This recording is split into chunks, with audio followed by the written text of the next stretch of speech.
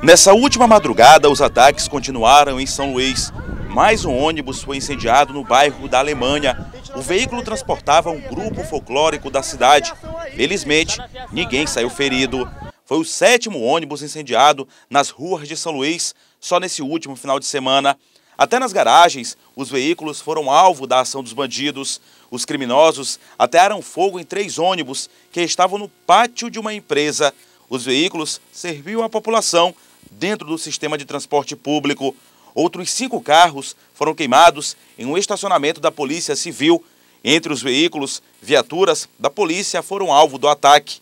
Nem a sede do judiciário escapou da ação dos criminosos. Nessa última madrugada, bandidos passaram em motocicletas e efetuaram vários disparos contra a sede do fórum aqui no município de Raposa, na área metropolitana de São Luís. Mais de 10 tiros foram dados as marcas dos disparos ficaram por toda parte na fachada do prédio, na calçada, na parede e no vidro.